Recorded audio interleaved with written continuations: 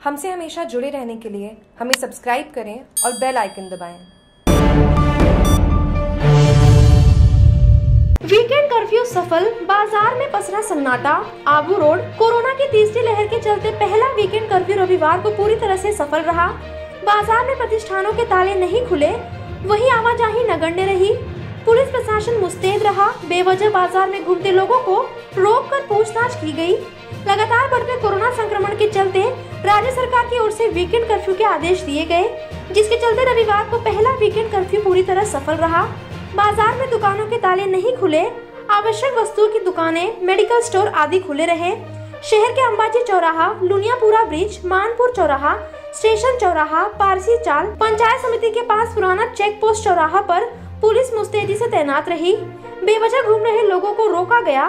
बाहर निकले की वजह वाजिब होने पर ही आगे जाने की इजाज़त दी गई। बिना मास्क लगाए वाहन चालक पुलिस को देखते ही यू टर्न लेते दिखाई दिए। जागरूक टीवी के आबू रोड ऐसी मनोज चौरसिया की रिपोर्ट।